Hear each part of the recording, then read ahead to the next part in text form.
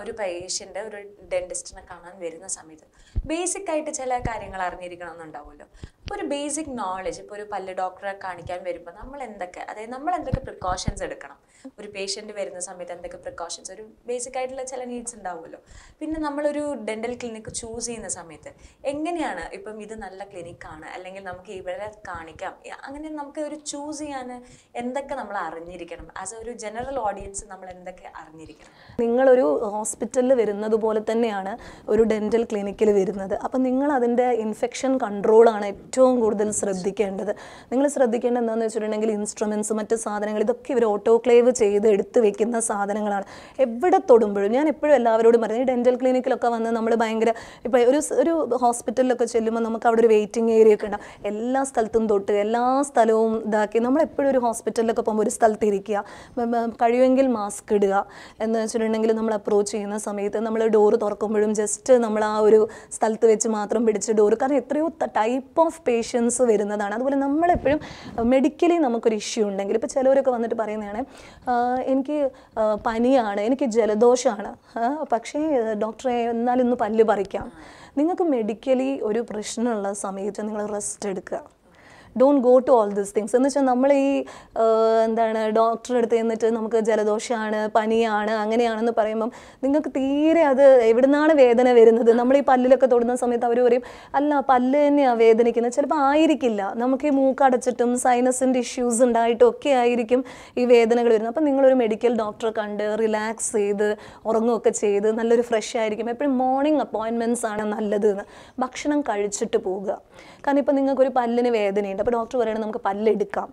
അപ്പം നിങ്ങൾ തീരെ ഇതില്ല. നിങ്ങൾ എന്താണ് ഭക്ഷണമൊക്കെ കഴിക്കാണ്ട് വെയിറ്റ് ചെയ്യേണ്ടിയൊക്കെ വരുന്ന സമയത്ത് ചിലപ്പോൾ ഹൈപ്പോഗ്ലൈസിമിക് ആയിട്ട് പോകാം. നിങ്ങൾക്ക് തലചുറ്റൽ വരാം. നിങ്ങൾക്ക് അത്രയും നേരം വെയിറ്റ് ചെയ്യാൻ പറ്റില്ല. അപ്പം നിങ്ങൾക്ക് എന്തിനായിരുന്നു ഞാനിവിടെ വന്നത്? അങ്ങനെ അപ്പോൾ എപ്പോഴും ടൈം എടുത്ത് പോവുക. നിങ്ങൾ ഡോക്ടറിനോട് നിങ്ങളുടെ പ്രശ്നങ്ങൾ കാര്യമായി പറയാം. ഡോക്ടർ ഇരിക്കാൻ പറയുന്ന സമയത്ത് നിങ്ങളൊന്ന് ഒതുങ്ങി ഞാൻ പറയട്ടെ ഇങ്ങനെ ചെയറിൽ കംപ്ലീറ്റ് സാധനങ്ങളും തൊട്ട് അങ്ങനെയല്ല. നമ്മൾ ഇൻഫെ നമ്മൾക്ക് ഒരു അസുഖവും വരാതിരിക്കാൻ നമ്മൾ സൂക്ഷിക്കുക. ചെയറിലിരിക്കുക അവരോട് ഡ്രേപ്പ് ഉപയോഗിക്കാൻ പറയുക എന്തെങ്കിലും നിങ്ങളുടെ ചുരിദാർ അല്ലെങ്കിൽ സാരി അതിലൊക്കെ വേണ്ടി ഡ്രേപ്പ് ഉപയോഗിക്കുക. ഇൻസ്ട്രുമെന്റ്സ് ക്ലീൻ ആണോ എന്നുള്ളത് നിങ്ങളും കൂടി ഒന്ന് നോട്ട് ഇതൊക്കെയാണ് നമ്മൾ നോട്ട് ചെയ്യേണ്ടത് എവിടെയാണ് എനിക്ക് വേദന? കംഫർട്ട് സ്പേസ് ആണ് നമ്മൾ ആദ്യം ഉണ്ടാക്കേണ്ടത്. ആൻഡ് ഡോക്ടറെ റിലൈ ചെയ്യുക. പിന്നെ നല്ല ക്ലിനിക്ക് മോശം ക്ലിനിക്ക് എന്നുള്ളത് നമ്മൾ ഒരു പ്രാവശ്യം പോയി നോക്കിയിട്ടുള്ള നമ്മളുടെ എക്സ്പീരിയൻസ് വെച്ചിട്ടാണ് നമ്മൾ കാൽക്കുലേറ്റ് ചെയ്യേണ്ടത്. അങ്ങനെ നല്ല ക്ലിനിക്ക് മോശം ക്ലിനിക്ക് എന്ന് നമുക്ക് പറയാനാവില്ലല്ലോ. എനിക്ക് എന്താണ് വേണ്ടത് എന്നുള്ളതല്ലേ നമ്മൾ തീരുമാനിക്കുന്നത്. Infection control is very very important പ്രത്യേകിച്ച് കോവിഡ് പോലെയുള്ള അസുഖങ്ങൾ പ്രിവെയിൽ ചെയ്യുന്ന സമയത്ത് ഇൻഫെക്ഷൻ കൺട്രോളും അവനവനെ കോൺസ് കോൺസെൻട്രേറ്റ് ചെയ്യുക എപ്പോഴും സെൽഫ് സെന്റേർഡ് ആയിട്ടിരിക്കുക ഒരു പേഷ്യന്റ് ക്ലിപ്പ് അങ്ങനെ ഒരു ഏജ് പരിമിതി ഉണ്ടോ? ഉണ്ടെങ്കിൽ അത് ഏതാണ് കറക്റ്റ് പ്രായം എന്ന് പറയണത് ഏതാണ്? ഈ പല്ലിന്റെ നിര ശരിയാക്കുക എന്നുള്ളത് അതൊരു ഭംഗി തന്നെയാണ്. എന്ന് വെച്ചാൽ അതൊരു എല്ലിന്റെ വളർച്ചേനെയും കൂടെ ബാധിക്കുന്ന ഒരു കാര്യം. അപ്പം നമ്മൾ മനസ്സിലാക്കേണ്ടത് എല്ലാ ക്ലിപ്പ് ഇടുക എന്ന് പറഞ്ഞാൽ ഇപ്പം നമുക്ക് പലതരത്തിലുള്ള കോന്ത്രം പല്ലുകൾ കാര്യങ്ങളുണ്ട്. ഇപ്പോൾ ഒരു ഒരു ആൾക്ക് നമ്മൾ ശരിക്കും പറഞ്ഞാൽ മുന്നത്തെ പല്ല് ഇങ്ങനെയും പിന്നെ താഴത്തെ പല്ല് മുകളിലത്തെ പല്ല് ഇങ്ങനെയും താഴത്തെ പല്ല് ഇങ്ങനെയും ഇങ്ങനെയാണ് എപ്പോഴും നിൽക്കേണ്ടത് പല്ലെന്ന് പറയുന്നൊരു സംഭവം. അല്ല ചെറുതാകുമ്പോഴേ കുട്ടീന്റെ പല്ല് നേരെ തിരിച്ചാണ്. മുകളിലത്തെ നിര പിന്നിലോട്ടും താഴത്തെ നിര മുകളിലോട്ടും ആണെന്ന് വിചാരിക്കും.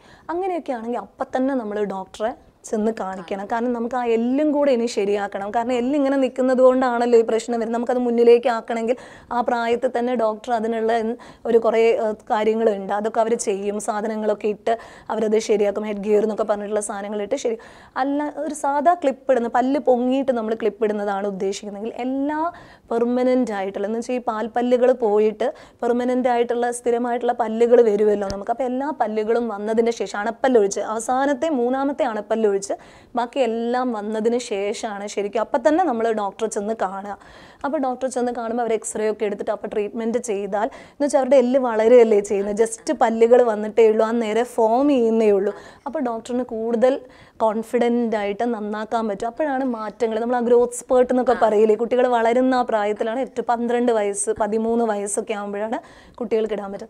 ഒരുപാട് പ്രായമായിട്ട് നമ്മൾ ഈ ക്ലിപ്പ് ഇടണം എന്ന് പറയുമ്പോൾ ഒരു പ്രശ്നം എന്താണെന്ന് വെച്ചാൽ ഇതിനൊരു ഇത് വരും. എന്ന് വെച്ചാൽ വീണ്ടും അത് റിപ്പീറ്റഡ് ആയിട്ട് പൊന്താനുള്ളൊരു ചാൻസ് കൂടുതലാണ്. അപ്പോൾ ചില ഡോക്ടേഴ്സ് എന്നുവെച്ചാൽ ഒരു നാൽപ്പതൊക്കെ കഴിഞ്ഞിട്ട് ഇപ്പം നമ്മളൊക്കെ ഇടണം എന്ന് പറയുന്ന സമയത്ത് ഡോക്ടേഴ്സിന് ആ എല്ലിന്റെ വളർച്ച എല്ലാം ഒരു ബുദ്ധിമുട്ടാണ്. എല്ലിനി അങ്ങനെ ആക്കി കൊണ്ടുവരേണ്ടത് ചെയ്യില്ല എന്നല്ല അതിനുള്ള മെത്തേഡ്സ് ഉണ്ട്. ഇപ്പൊക്കെ എന്താ പറയുക നമ്മൾ എന്താ പല്ലിന് ക്ലിപ്പായിട്ട് തന്നെയല്ല. എന്ന് എന്നൊക്കെ പറഞ്ഞിട്ടുള്ള സംഭവങ്ങളുണ്ട്. കാണാത്ത രീതിയിലൊക്കെ നമുക്ക് ഇട്ട് നടക്കാനൊക്കെ പറ്റും. പക്ഷേ എങ്കിലും അതിന്റെ ഒരു റിസൾട്ട് എത്രയായിരിക്കും എന്നുള്ളത് ഒരു കോൺഫിഡന്റ് ആയിട്ട് പറയാൻ പറ്റാത്തത് ആ ഗ്രോത്ത് അവിടെ നടക്ക എല്ലാം ഫോം ചെയ്ത് കഴിഞ്ഞു. എല്ലൊക്കെ വളർച്ച കഴിഞ്ഞു പേശികളുടെയൊക്കെ വളർച്ച കഴിഞ്ഞു. അപ്പോൾ ചില റീസൺസും ഉണ്ട്. ചില ആളുകളിൽ അതൊരു പ്രാക്ടിക്കലി ബുദ്ധിമുട്ടാണ് അങ്ങനെ വരുത്താൻ വേണ്ടിയിട്ട്. അപ്പം ചിലപ്പോൾ ചില ഡോക്ടേഴ്സ് അതിനെ ഡിസ്കറേജ് ചെയ്യാറുണ്ട്. അത് ആ എല്ലിന്റെ വളർച്ച നോക്കിയിട്ടേ ചെയ്യുള്ളൂ. പല്ലിന്റെ ഘടന എല്ലാ പല്ലിത്ര ഇത്ര ഒരു ഡിഫറൻസ് ഉണ്ട്. എനിക്ക് ഒരു കൊല്ലം കൊണ്ട് അത് ഇങ്ങനെയാക്കി കിട്ടണം എന്ന് പറയുമ്പം ഗ്രോത്തൊക്കെ കഴിഞ്ഞ ഒരാളെ സംബന്ധിച്ച് ആ ഡോക്ടറിന് അത് എടുക്കണ്ടേ? ക്ലിപ്പ് ഇടുന്നവരോട് ഞാൻ എനിക്ക് പറയാനുള്ളത് വെച്ചാൽ എക്സ്പെക്റ്റേഷൻസിനും കൂടെ കുറച്ചൊരു നമ്മൾ കൺട്രോൾ വരുത്തണം. നമ്മളെല്ലാം നമുക്കങ്ങ് പറ്റില്ല. നമ്മ നമുക്കറിയാലോ കുട്ടികളെ പോലെ നമുക്ക് എല്ലാം ചെയ്യാൻ കഴിയുന്നുണ്ടോ? ഇല്ല. നമ്മളിപ്പം പ്രായം കുറഞ്ഞ പിള്ളേരുടെ പോലെയല്ല. ഇപ്പം എക്സസൈസ് ചെയ്ത് മെലിയുന്നത് പോലെയല്ല എല്ലിനെ നമ്മൾ ഗ്രോത്ത് നിയന്ത്രിക്കുന്നതൊന്നും. പക്ഷെ ചിലപ്പോൾ പറ്റും. ചില കേസസിൽ വളരെ എന്താ പറയുക കുറച്ച് ഡിഫറൻസേ ഉള്ളൂ. കുറച്ച് പല്ലിങ്ങനെ ആദ്യമേ ക്ലിപ്പ് ഇട്ടു. പക്ഷെ ഇപ്പം പല്ലൊന്ന് പൊങ്ങി വരുന്നുണ്ട്. അങ്ങനെയുള്ള കേസസിലൊക്കെ അത് സുഖമായി നമുക്ക് ചെയ്യാൻ പറ്റും. നമുക്ക് ഇനിയും കൂടുതൽ ഈ ഡെന്റൽ വിഭാഗത്തിനെ കുറിച്ച് അറിയാനുണ്ട്. അടുത്തൊരു എപ്പിസോഡിൽ നമുക്ക് അതിനെക്കുറിച്ച് ഡിസ്കസ് ചെയ്യാം.